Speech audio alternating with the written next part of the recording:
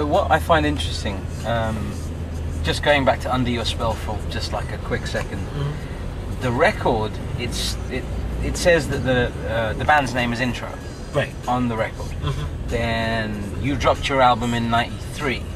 But in 91, 92, you were working closely with Dave Jam Hall. Yes. And you had, uh, what was it? Uh, you had the track, you did a couple of tracks with Shinehead, yeah. Try my love. Try My Love and Baby I Can Make Yes. It Right. Yep. Uh, and what was the other one? You did a song, a remix version of uh, Jeff Redd, You Called and Told You called and told me yes. So, was that like basically easing you into the industry before you dropped your record, or what was that about? What was Well, we were already we were that? already um that was 92. That wasn't 91, that was 92 actually. Yeah. And we had just met Eddie F in 92, the winter of 92.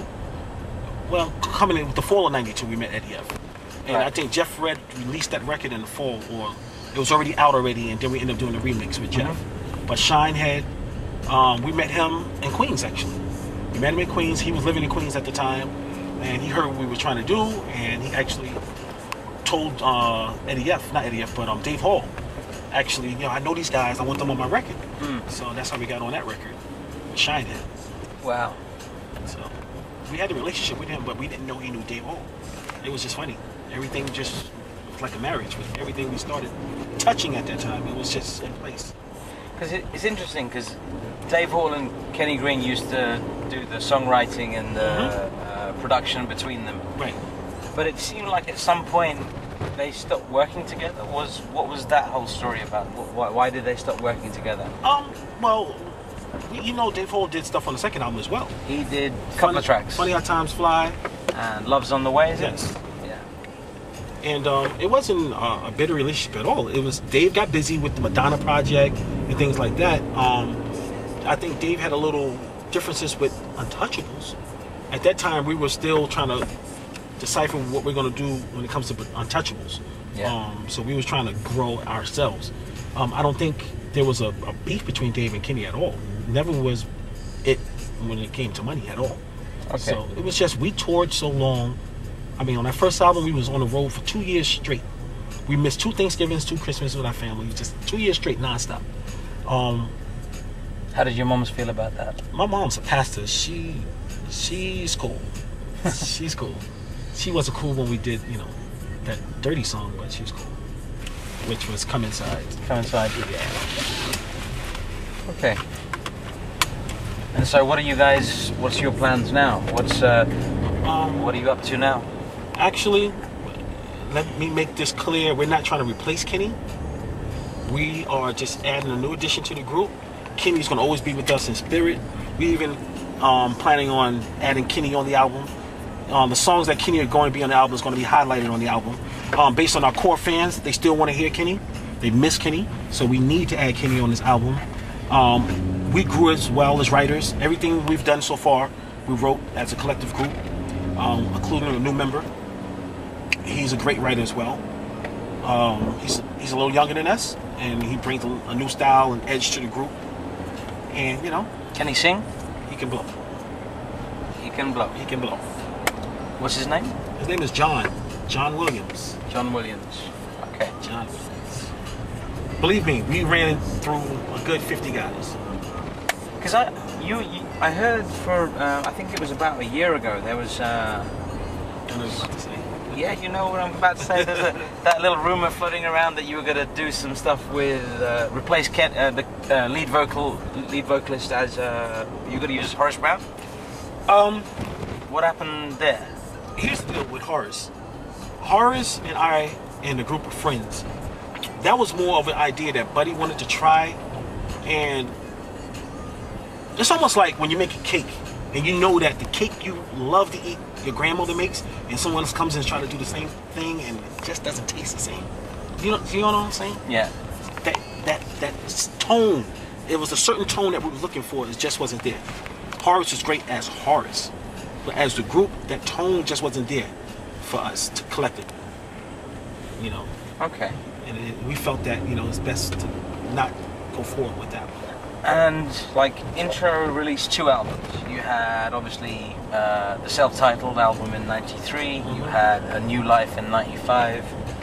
was there an album called uh, Messima or Messimo in '97 or something Well, like the, that? the names we played with the names. We never released the album. Uh, we were in the middle of uh, working on that album, and then let's keep it real. Uh, we Kenny got a suspension from the group um, after we got off a tour in Europe. It was us and Dru Hill in Europe, and after we got off the tour, we decided to take a break. You know, I, I, the truth is the suspension. There was something that went down when it came to us in the interview process with the radio station, a huge radio station, and I don't need to dig into that, but it wasn't professional, so we felt that, you know, somebody had to be reprimanded for that. So we decided to do that.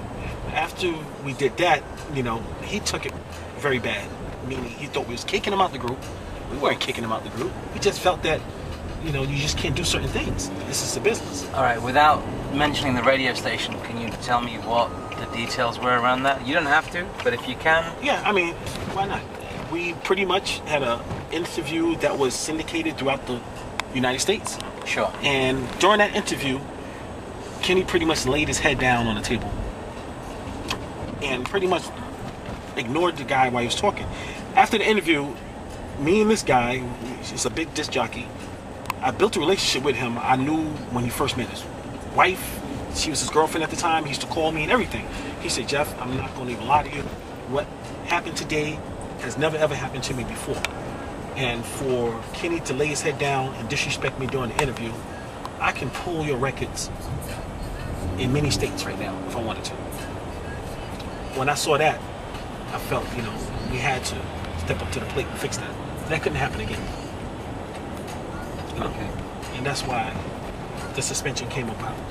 And from the suspension, he ended up trying to, you know, release his own stuff and so forth, but that didn't work. People wanted to see intro. Okay. So. And when you have a when you have a lead vocalist like Kenny Greene, One of the best. One of the best for sure. Um, how do you? You said you had like 50 people that you were thinking of coming Yeah. into the group. How, how do you go about that process? How do you go about finding a replacement for the Kenny Greene? Well, it's not about a replacement. You gotta understand, what happened back in 93, 94, 95, 96, 97, 98 happened back then. Sure. Whatever you're gonna do now, you gotta always think about recreating yourself. So you gotta almost go to a different direction, but stay with the same ingredients. But we're not trying to find someone that sounds like Kenny, and we gotta let everybody know that. We're not trying to replace Kenny or trying to have someone sound like Kenny. We like someone to be somewhere in that range, only because it's a certain tone we look for when it comes to our vocals. Sure. But you know, at the end of the day, some people that worked with us in the past love what we're doing so far, and they love the direction we're going in. And we're just going to stick with that. We're not going to try to have somebody try to be Kenny. It's not going to happen.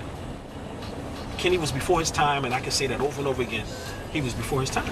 Kenny was one of the best. His tone was incredible, and that's what sold me the moment I heard him over the phone. Sold me.